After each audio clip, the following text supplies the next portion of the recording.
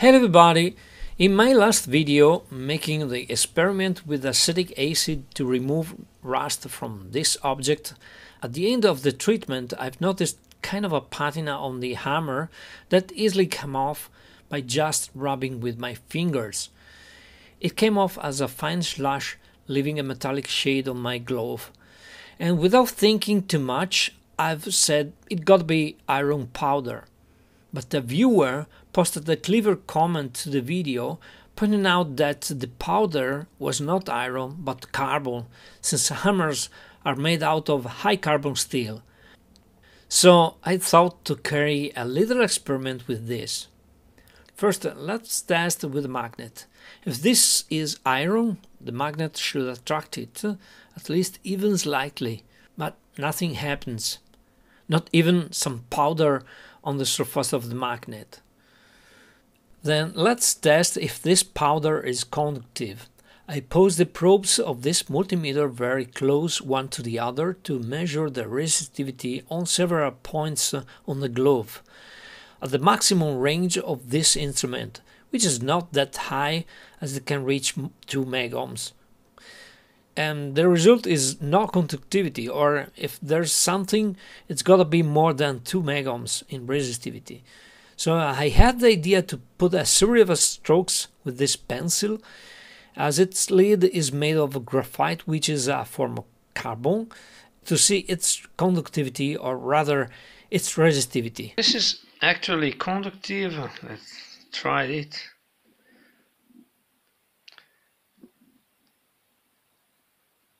1.5 mega and uh, if I put these terminals these probes uh, a little bit closer together. I can do an interesting thing I put this you can see 500 ohm 500 uh, 500 kilo and if I stretch the thing as you can see stretching they change the resistivity.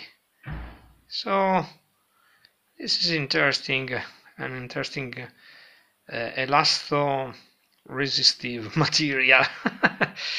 This is kerosene uh, and kerosene is uh, should have the ability to uh, dissolve carbon and let's say what uh, what happens. Hmm. Not that easy to remove. Yeah, something. But, uh, yeah, not much.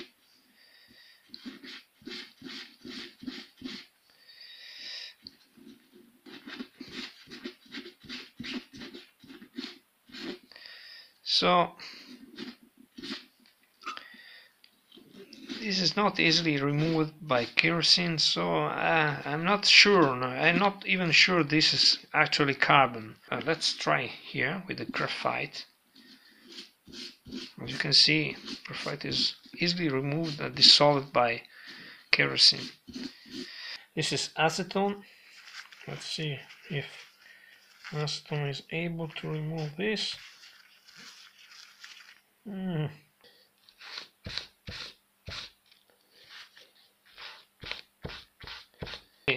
Some uh, has gone but mostly is remained on the glove so uh, it is hard to remove this stuff.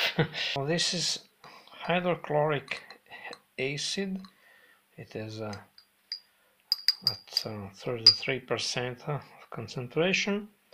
Let's pour a drop uh, here. Here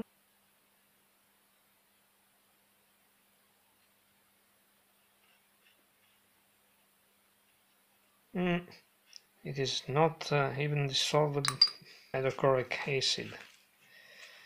So definitely this is not iron.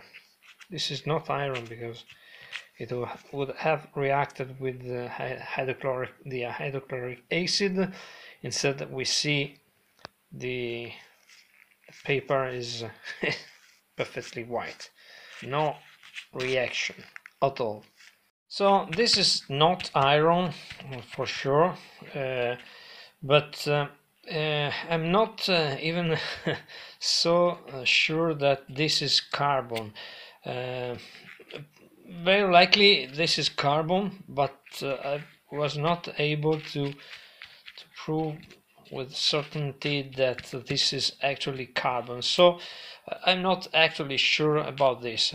But let me know what you think, leaving your comments in the section below. For now, that's all folks. Thanks for watching. See you next time. Bye.